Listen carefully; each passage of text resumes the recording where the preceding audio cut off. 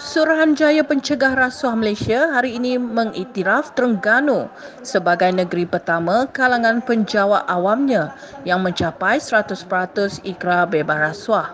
Ketua Pesuruhjaya SPRM Tan Sri Zulkifli Ahmad berkata, beliau turut teruja serta kagum dengan pencapaian kerajaan negeri yang diterajui Menteri Besar Datuk Sri Ahmad Razif Abdul Rahman atas komitmen tinggi untuk sama-sama memerangi gejala rasuah kalangan kaki tangannya.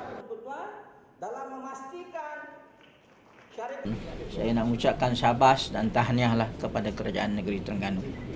Kerajaan negeri Terengganu di bawah kepimpinan Datuk Seri adalah merupakan uh, kalau dalam dalam Malaysia ni adalah merupakan negeri yang pertama yang telah mencapai uh, 100%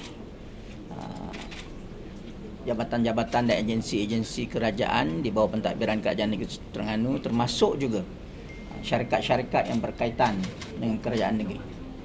Uh, merupakan negeri yang pertama dalam Malaysia yang mencapai tahap 100% yang mengadakan ikrar bebas rasuah. Hebat kerajaan negeri Terengganu. Terima kasih.